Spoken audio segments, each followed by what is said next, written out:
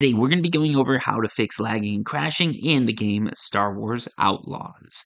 So, first things first, if you go to Ubisoft Connect, you can actually go down to Star Wars Outlaws, click that like properties, that gear button, and go to verify files. If the game's crashing, a lot of the time there's an improper download. You can verify the files. If something's off, sometimes you can fix it, but a lot of times you just have to reinstall the game that is going to solve a lot of crashing issues. So yeah, if, that, if you're if you're crashing, that's probably the best solution I've got for you. Reinstalling, restarting the computer, those are all good things that you can do. If you're on PS5, running in performance mode is pretty good, but if it's crashing, you just gotta wait for an update. If you're on the PC, you can also update your drivers because that does help a lot of the time. Now what we're going to be doing is going into some of the settings that you need to have set if you want to reduce lag in Star Wars Outlaws. And if you're wondering, is it all just the graphics settings? No, it is not. So obviously, you can go to the graphics settings and you can just set that quality all the way down to low. That's going to help. That's going to reduce things all this stuff, it doesn't really matter too much. Obviously, NVIDIA RTX Direct Lighting should be off if you want to reduce lag, but setting everything to low, that is going to help you the most. If we go into here, let's just go into sort of the advanced graphics mode. There's a lot of stuff that you can play with here. The fog blur, that actually, from my experience, it seems like that can actually almost, it can help and it can hurt depending on the particle density and all that, because Fog sometimes does reduce the draw distance, and that can actually give your system a little bit of a boost. So if you get into fog and it's causing lag, turn it off. But if it's not, probably just leave it as is.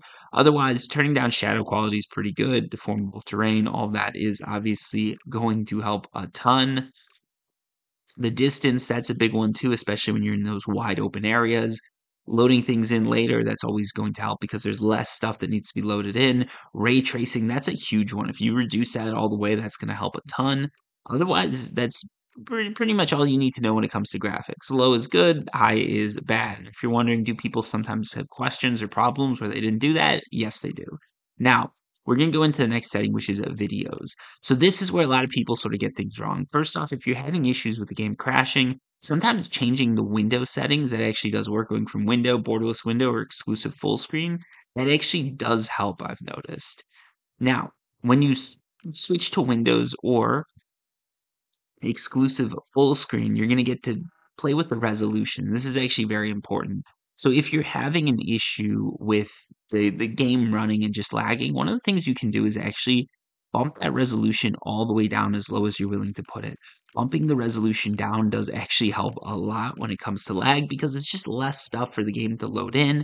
There's things like DLSS that do sort of improve things because what's happening with DLSS is things are loading in at a lower scale and being upscaled to the resolution that you're selecting.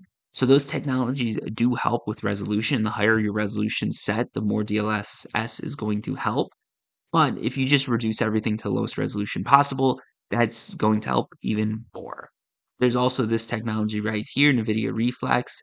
So you can use this to reduce system latency. Um, I honestly, I haven't had too much luck with this, but some people swear by it. And one last thing that a lot of people miss, it would be in the gameplay settings. If you go here, what you're going to find is down here, you've got a screen shake intensity, a view angle, and a view angle when aiming.